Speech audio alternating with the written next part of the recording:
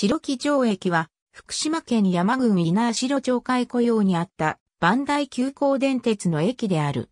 磐梯急行電鉄の廃線に伴い1969年3月27日に廃駅となった。昭和に入ってからの沿線住民へのサービスの一環として新規開業した駅の一つであり、正式には白木城停留場であった。廃止時点で一線を有する地上駅であった。プラットフォームは存在せず、乗客は地面から直接乗降した。電鉄機を持たない防線駅となっていた。開業時からの無人駅となっていた。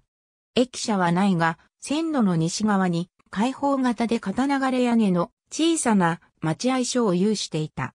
当駅のすぐ川桁方に5パーミルの勾配表があり、待合所の向かいには7のキロポストが存在した。田畑の中に位置した。1996年時点では駅跡は消滅していた。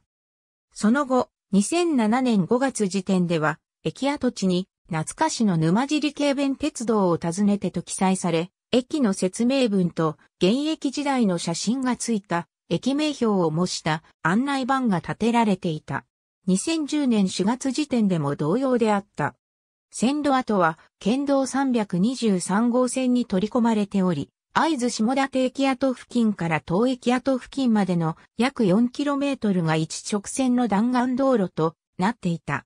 ありがとうございます。